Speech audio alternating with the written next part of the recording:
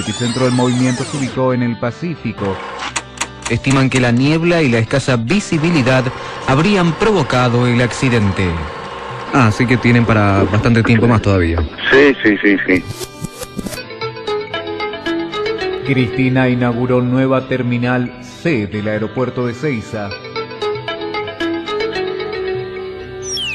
Presenta una fórmula propia para gobernar la ciudad.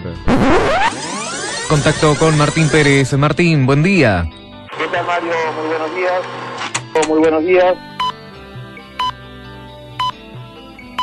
5 grados, dos décimas, humedad 93%, es la hora 9, 5 minutos. Pastas caseras y comidas a la carta. Delivery. Toda la línea de cuadriciclos. Se salvó por difundirlo. No, por favor, hasta luego, gracias.